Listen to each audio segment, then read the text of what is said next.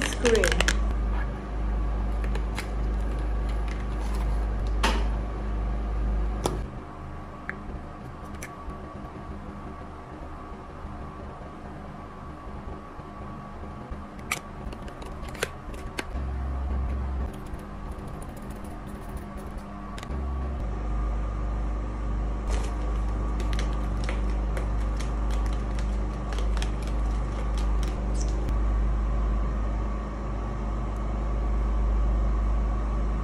It's hot. Skincare in Nigeria is a problem. It's a problem.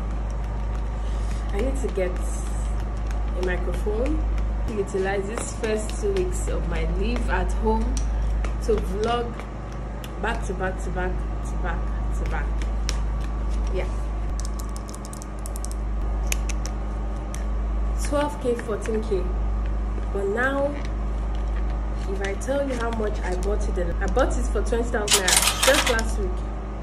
But anyways, it's good. I can see very